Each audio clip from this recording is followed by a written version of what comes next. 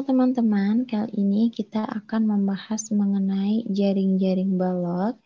Dari soal diketahui jaring-jaring balok seperti ini, ditanyakan sisi yang harus dihilangkan agar membentuk jaring-jaring balok yang benar. Kita jawab. Yang pertama, kita misalkan dulu. Misal, untuk sisi alas adalah 7. Ini ya, 7 maka untuk sisi kanan dan kirinya kita cari, yaitu 5 dan 8 adalah sisi sampingnya.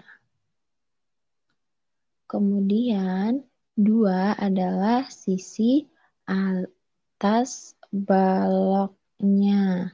Sehingga untuk sisi penutup depan yaitu 6 dan 3.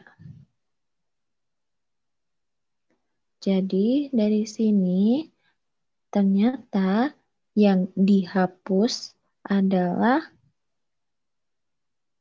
angka 4.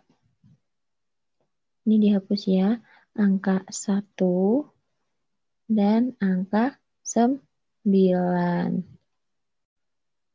Jadi, setelah kita hapus, kita peroleh jaring-jaring yang benar. Sehingga dapat kita ambil kesimpulan ya. Jadi,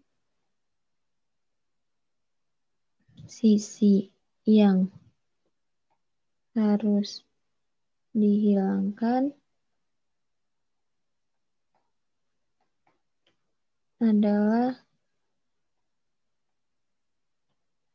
sisi 1, 4, dan 9. Dan ini merupakan opsi C. Demikian teman-teman, semoga bermanfaat.